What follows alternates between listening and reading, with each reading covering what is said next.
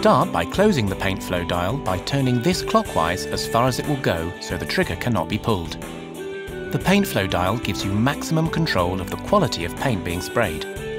Gradually open this up until you are comfortable that you can keep up with the flow rate of the material that you are spraying.